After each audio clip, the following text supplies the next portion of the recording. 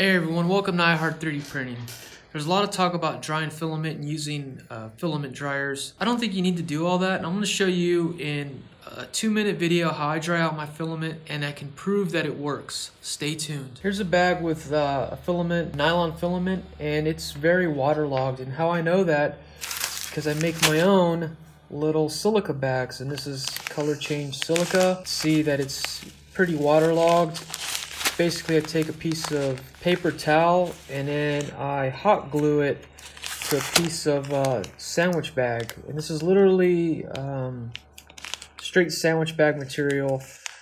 And the final, I have one opening, I put it in, put the silica inside here, and then I close it back up. So that's very dry, and this is pretty wet. So I'm going to show you how we're going to dry both this filament and we're going to dry that. We're not going to do any printing. Just trust me, it makes a difference, especially on nylon.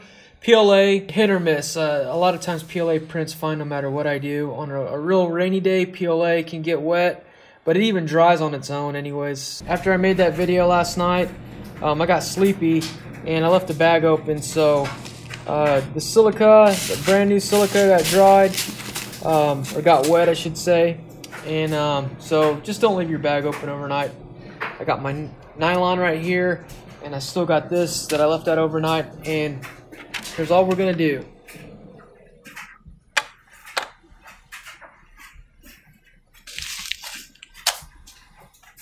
And finally, the magic box. And here, this box is magic and not because it keeps your kid's pee-pee from uh, getting all over the place. It's magic, and we're gonna check this out in a little bit and see what's going on. All right, everyone, it's been 24 hours, and I'm gonna lift up the box, the magic box, and reveal the surprise. Wow, look how blue that is. Now, it's not a surprise to me actually, because I knew this was gonna happen. Um, if, you check this out, in six hours the filament's usually good enough to print with but if you really want it dry you really should leave it all out um, overnight and you really get this blue color and your filament's going to be perfect. Now for all the naysayers out there that might say something like um, that it's this wouldn't work in a, a moist area I want to show you outside. Today's a special day. My gimbal catch up but you can see it's a wet, soggy day, and inside my garage is a whopping 59 degrees Fahrenheit. Don't know what that is in Celsius. So let's go back to this. So I pretty much showed you guys how to make or what, what I do to dry my filaments. Pretty easy, self-explanatory. I do want to make a video, but uh, how I make these, but really a lot of content on YouTube's filler. Um, and I just don't have time. So hopefully this helps you guys out.